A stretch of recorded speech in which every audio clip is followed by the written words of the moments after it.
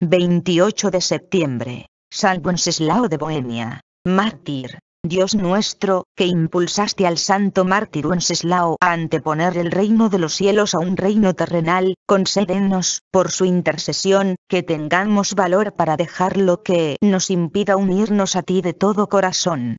Por nuestro Señor Jesucristo, tu Hijo. Hijo del rey de Bohemia, Radislav, el joven príncipe nació en el 907 cerca de Praga.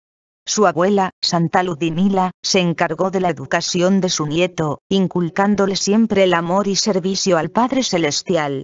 Cuando era todavía muy joven, el santo perdió a su padre en una de las batallas contra los magiares. Su madre asumió el poder e instauró, bajo la influencia de la nobleza pagana, una política anticristiana y secularista, que convirtió al pueblo en un caos total. Ante esta terrible situación, su abuela trató de persuadir al príncipe para que asumiese el trono para salvaguardia del cristianismo, lo que provocó que los nobles la asesinaran al considerarla una latente amenaza para sus intereses. Sin embargo, por desconocidas circunstancias, la reina fue expulsada del trono, y Wenceslao fue proclamado rey por la voluntad del pueblo, y como primera medida, anunció que apoyaría decididamente a la ley de la Iglesia de Dios.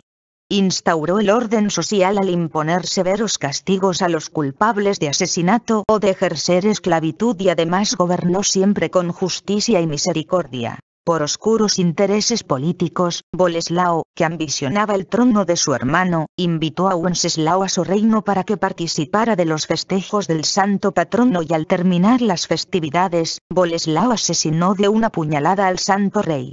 El pueblo lo proclamó como mártir de la fe, y pronto la iglesia de San Vito, donde se encuentran sus restos, se convirtió en centro de peregrinaciones ha sido proclamado como patrón del pueblo de Bohemia y hoy su devoción es tan grande que se le profesa también como patrono de Checoslovaquia.